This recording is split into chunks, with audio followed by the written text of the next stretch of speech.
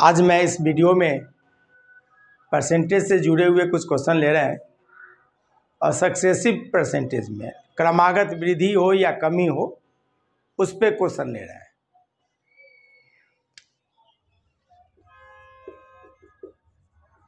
Percentage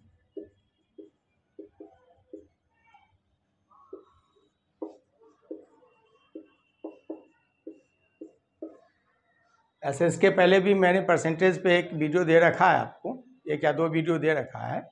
आप चाहें तो उसे भी फॉलो कर लेंगे और उससे अलग एक क्वेश्चन ले रहे हैं लेकिन।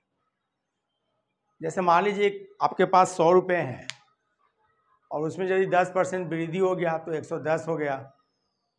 यदि कमी हो गया, मान लीजिए पाँच परसेंट कमी हो गया तो नाइन्टी फाइव परसेंट के बराबर हो गया नाइन्टी फाइव के बराबर हो गया। तो हमें ये देखना है कि वृद्धि के लिए प्लस साइन लेना है और कमी के लिए माइनस लेना है। लेकिन किससे कंपेयर करना है? हंड्रेड से कंपेयर करना है। आपके पास जो कुछ भी अपने आप में हंड्रेड परसेंट है। इसे फॉलो करते हुए हमें सॉल्व करना चाहिए। ठीक है? तो चलते हैं, इस पर दो क्वेश्चन लेते हैं और बिना रफ किए हुए बना सकते हैं। चाहेंगे तो बिना रफ किए हुए बना सकते हैं। तो यदि हम ऑप्शन भी दे दें तो और भी टेक्निक मिल जाएगा आपको। चलिए फ़र्स्ट क्वेश्चन लेते हैं।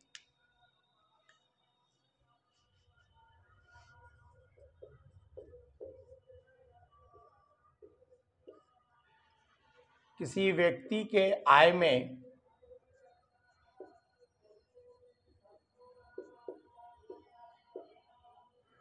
पिछले तीन वर्षों के दौरान,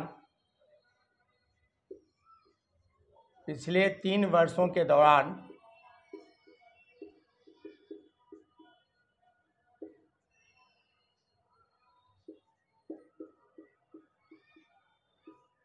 क्रमशः बीस परसेंट की वृद्धि।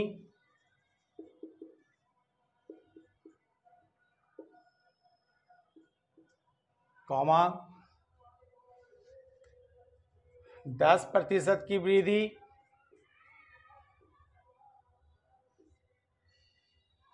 एवं दस प्रतिशत की कमी हो जाए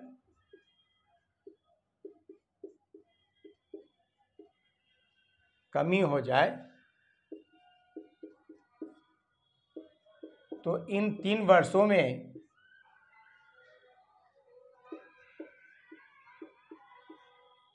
इन तीन वर्षों में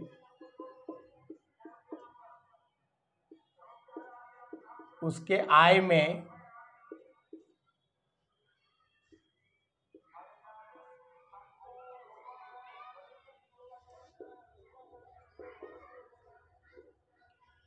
कितने प्रतिशत की वृद्धि या कमी होगी?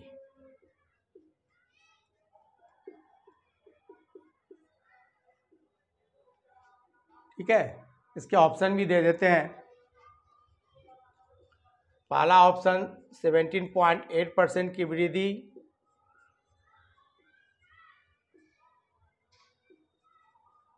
देखिए, वृद्धि को ऑलवेज प्लस में मानना है, कमी को माइनस में मानना है। चलिए सेकेंड ऑप्शन 19.8 19.8 परसेंट की वृद्धि। थर्ड ऑप्शन 18.9 परसेंट की वृद्धि।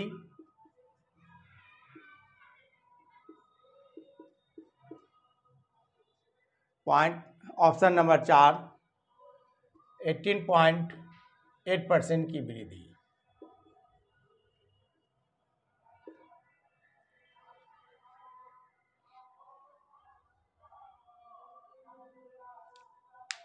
देखिए, व्यक्ति के आय में पिछले तीन वर्षों के दौरान तो आय तो उनका दिया हुआ नहीं है, चाहे जो भी आय हो तो अपने आप में क्या हो गया? हंड्रेड परसेंट जैसे हमने बोला कि हंड्रेड परसेंट में यदि वृद्धि हो गया तो हंड्रेड प्लस बोल देंगे, कमी हो गया तो हंड्रेड माइनस बोल देंगे। है ना? तो सिंपल वे से आप इसे सॉल्व कर सकते हैं। देखिए, डिटेल में एक सॉल्व करके बता देते हैं और ऑप्शन से आप कैसे कर सकते थे। डिटेल में सॉल्यूशन यदि करना हो तो भी अपने आप में ट्रिक्स ही है। कहने के लिए डिटेल है। एक लाइन में आप लिख सकते हैं और ऑप्शन दिया हुआ है तो बिना लिखे हुए कैसे कर सकते हैं? उस पर हम लोग डिस्कस कर लेंगे। ठीक है? क्वेश्चन पूछा हुआ है कि कितने प्रतिशत की वृद्धि या कमी हो जाएगी? तो जैसे मान लीजिए सौ रुपया है, दस परसेंट बढ़ गया तो एक सौ दस हुआ तो बढ़ा तो दस है ना? दस परसेंट बढ़ा तो फिर सौ घटा लेंगे। एक सौ दस से फिर सौ घटा लेंगे तो दस परसेंट बढ़ गया। यानी लास्ट में हमें सौ फिर घटा लेना चाहिए। तो देखिए आप मान लीजिए कि आपके पास सौ रुपया है। पहले कितने वृद्धि हो गई? बीस परसेंट की वृद्धि, ठीक है? तो सौ के जगह पे अब हो गया एक सौ बीस। चलिए, जानबूझ के डिटेल में लिख देते हैं। सौ प्लस बीस हो गया, फिर सौ कर लिए। फिर कितना है? टेन परसेंट की वृद्धि। तो जो सौ था वो अब हो गया एक सौ दस। सौ प्लस दस बाई हंड्रेड।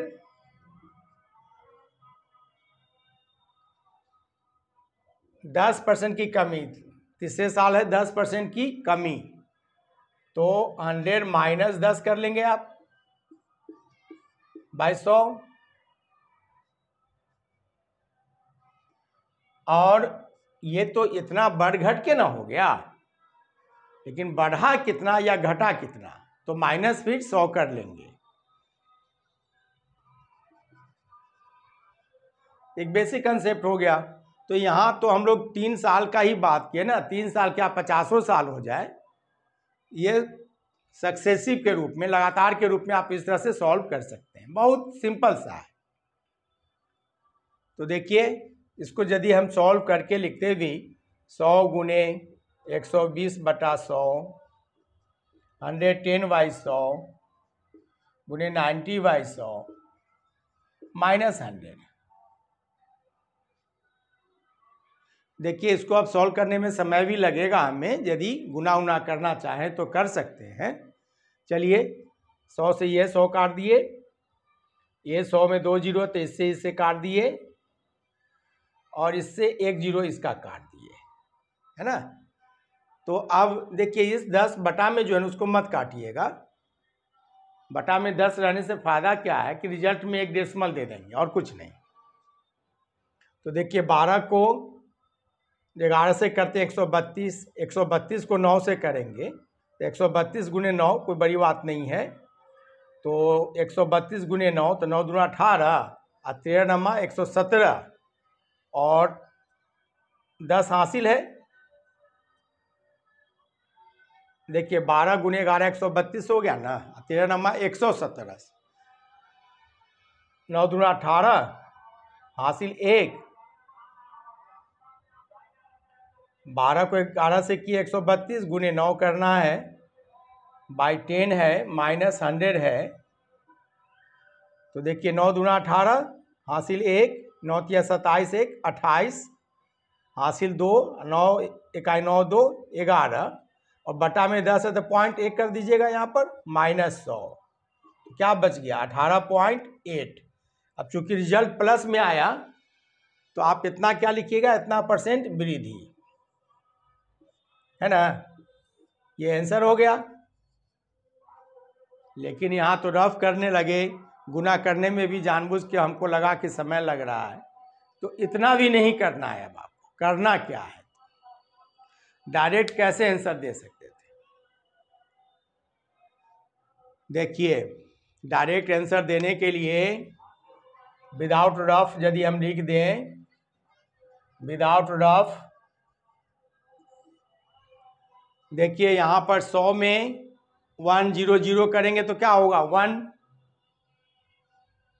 वन लिख भी सकते नहीं भी। ये देखिए, सौ और बीस जोड़ दिए, एक सौ बीस हुआ। तो एक सौ बीस में एक और दो ज़ीरो जोड़ेंगे तो तीन हो जाएगा। एक सौ दस में दो हो जाएगा, ये नाइन हो जाएगा और फिर माइनस वन हो जाएगा।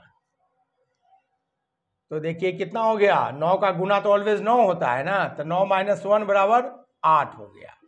तो अंकों का योग आठ चाहिए। अंकों का योग आठ चाहिए हमको। देखते हैं। एक, सात, आठ आठ, सोलह, यानी सात हो गया ये। ए, एक, नौ, दस, आठ, अठारह, यानी एक, आठ मिलके नौ हो गया। तो ये नहीं होगा, ये नहीं हुआ। एक आठ नौ और नौ मिलके फिर अठारह, एक आठ जोड़िएगा तो नौ, ये भी नहीं हुआ। हमें आठ कौन दे रहा है? ये दे रहा है। देखिए इसमें। One plus eight plus eight, है ना? सेवेंटीन हुआ। यानी वन प्लस सेवन मिलके आठ हो गया। हमको आठ चाहिए था। ये मैच कर रहा है। हो गया। देखिए, फिर से यदि किसी को लग रहा हो कि ये थ्री कहाँ से लिखे तो सौ प्लस बीस करेंगे तो एक सौ बीस हो गया। एक सौ बीस के अंकों को जोड़ेंगे ना तो one plus two plus zero तो कितना हो जाएगा?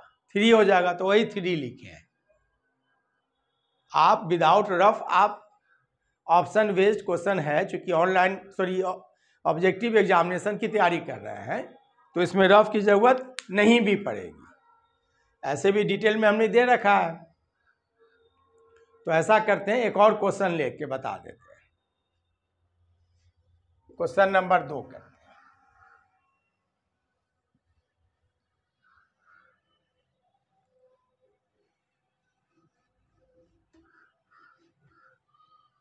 अब डायरेक्ट बनाने का कोशिश करेंगे हम लोग है ना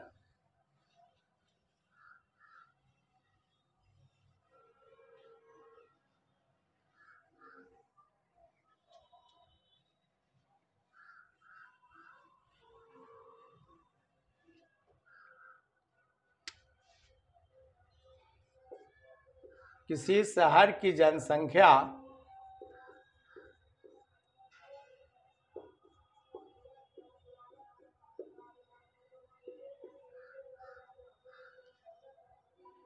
पिछले चार वर्ष पूर्व, पिछले चार वर्ष पूर्व आठ हज़ार थी, अस्सी हज़ार थी।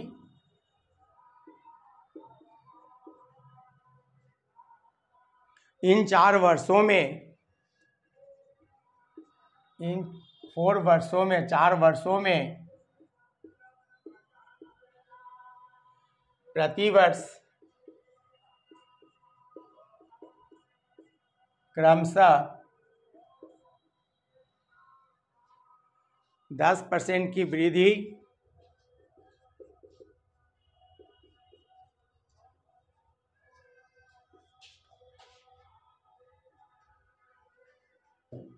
तीस परसेंट की कमी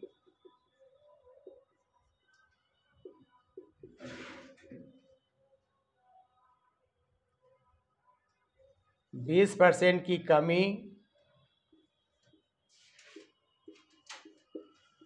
तथा चालीस परसेंट की, फोर्टी परसेंट की वृद्धि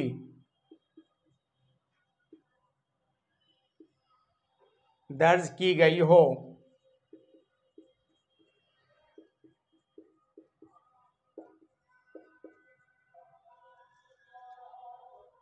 तो वर्तमान में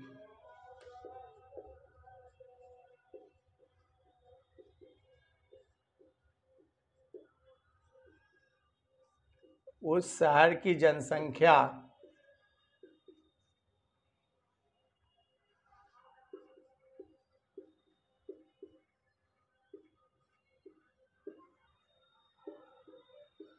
कितनी होगी?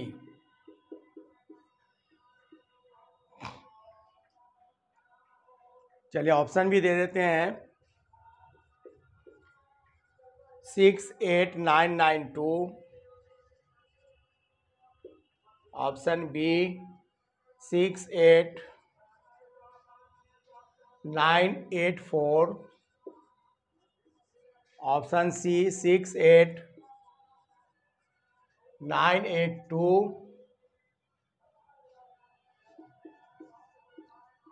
six seven nine nine two.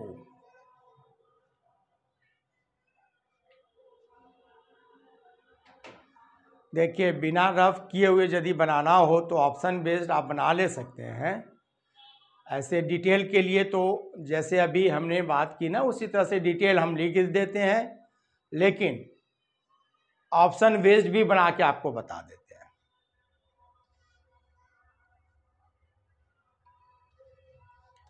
देखिए डिटेल तो आप सॉल्व जब करेंगे डिटेल में सॉल्व करेंगे तो हंड्रेड परसेंट अपने आप में जो है वो कितना है? अस्सी हज़ार है। जनसंख्या जो है वो लिख लीजिए। चार वर्षों में प्रति वर्ष क्रमशः दस परसेंट की वृद्धि, यानी एक सौ दस बटा सौ हो गया। वृद्धि वृद्धि है तो हंड्रेड प्लस करना है ना? तो दस परसेंट बढ़ गया सौ से तो एक सौ दस बटा सौ हो गया। फिर तीस परसेंट की कमी यानी सेवेंटी परसेंट के बराबर हो गया। फिर बीस परसेंट की कमी तो एट्टी परसेंट के बराबर हो गया।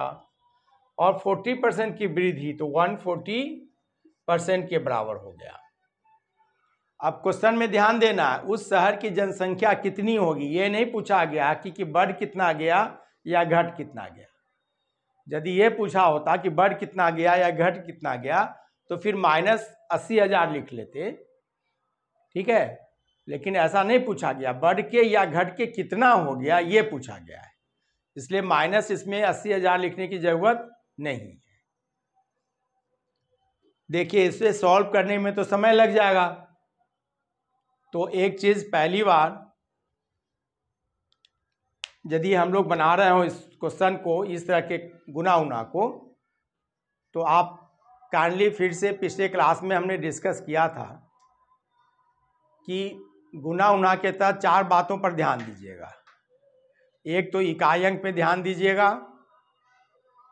दूसरी बातें, सबसे लेफ़्ट में कौन सा अंक होना चाहिए उसको आस्पेक्ट कर सकते हैं। तीसरी बातें थी कि गुना करने पर रिजल्टेंट में कितने अंक में आंसर आएँगे? कितने अंकों में आंसर आएँगे? सो था। और फोर्थ पॉइंट जो सबसे बहुत ही इम्पोर्टेंट है, जिसके आधार पे अभी हमने बिना रफ के क्वेश्चन बनाया आपके सामने, अंकों के योग के आधार पर। सम ऑफ़ डिजिट्स के आधार पे, ठीक है? तो आप उस पर आधार पे भी सॉल्व कर सकते हैं।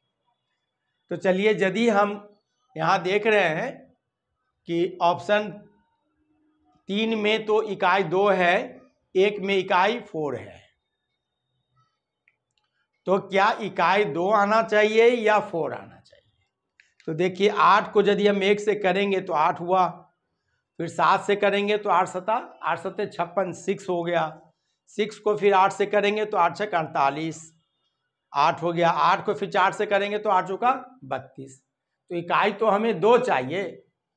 अब क्या कि ये सब ज़ीरो वगैरह छोड़ दिए किसी में ज़ीरो नहीं है तो काहे के लिए आप ज़ीरो के चिंता कर रहे हैं? तो इकाई में हमें क्या चाहिए था? टू चाहिए। तो ये तो गलत हो गया निश्चित रूप से। है ना? देखिए, डिटेल में तो आप सॉल्व इसको काट कूट करके कर ही लीजिएगा, लेकिन फिर इसे बिना रफ किए हुए, रफ के बगैर बिना रफ आप कैसे करेंगे? इस पे डिस्कस कर रहे हैं। तो इकाई क्या होना चाहिए? इकाई में दो होना चाहिए।